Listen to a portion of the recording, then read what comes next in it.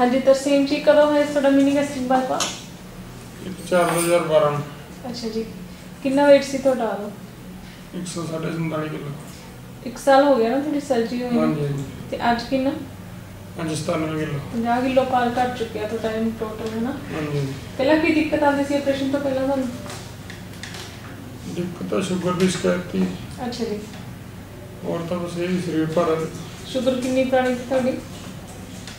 ਪੰਜ ਚਾਰ ਸਾਲਾਂ ਦੀ ਕੀ ਲੈਂਦੇ ਸੀ ਸ਼ੂਗਰ ਨੂੰ ਕੰਟਰੋਲ ਕਰਨ ਲਈ? ਗੋਲੀ ਖਾਂਦੇ ਸੀ। ਅੱਛਾ ਜੀ ਗੋਲੀ ਜਿਹੜੀ ਤੁਹਾਡੀ ਖਾਂਦੇ ਸੀ ਕਿ ਉਹ ਕਿੰਨੀ ਦੇਰ ਬਾਅਦ ਆਪਰੇਸ਼ਨ ਤੋਂ ਛੁੱਟ ਗਈ ਸੀ ਗੋਲੀ ਤਾਂ ਖਾਧੀ ਨਹੀਂ ਮੁੜ ਕੇ ਬਸ। ਅੱਛਾ ਜੀ ਤੇ ਇਸ ਆਪਰੇਸ਼ਨ ਤੋਂ ਬਾਅਦ ਉਲਟੀ ਦੀ ਪ੍ਰੋਬਲਮ ਤਾਂ ਨਹੀਂ ਆਈ ਤੁਹਾਨੂੰ ਕੋਈ? ਨਾ। ਤੁਸੀਂ ਟੈਸਟ ਕਰਵਾਉਂਦੇ ਨੇ ਵੀ ਇਸ ਆਪਰੇਸ਼ਨ ਹਾਂ, ਹਾਂ। ਜਿਹੜੇ ਡਾਕਟਰ ਸਾਹਿਬ ਕਹਿੰਦੇ ਨੇ ਉਸ ਹਿਸਾਬ ਨਾਲ। ਹਾਂ ਕਰਵਾਉਂਦੇ ਰਹੇ ਟੀਕੇ ਲਵਾ ਕੇ ਲੈ ਦੋ ਚਲੋ ਤੇ ਤੁਸੀਂ ਆਪਣੀ ਮੈਡੀਸਿਨ ਵੀ ਲਈ ਜਾਂਦੇ ਹੋ ਨਾ? ਜਿਹੜੇ ਮਲਟੀਵਿਟਾਮਿਨ ਸਪਲੀਮੈਂਟਸ ਨੇ। ਹਾਂ ਹਾਂ। ਠੀਕ।